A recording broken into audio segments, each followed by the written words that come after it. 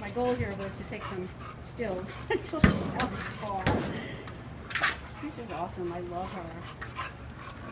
She just going to be able to play by herself.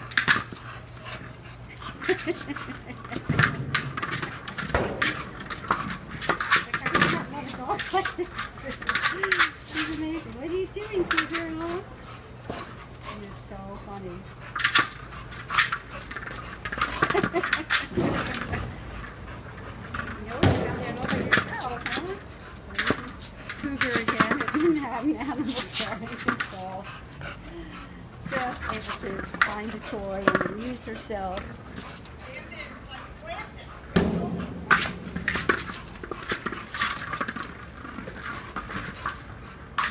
She just really knows how to have a good time, all by herself.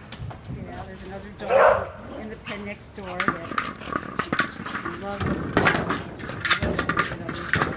So again, this is Cougar at Manhattan Animal Care.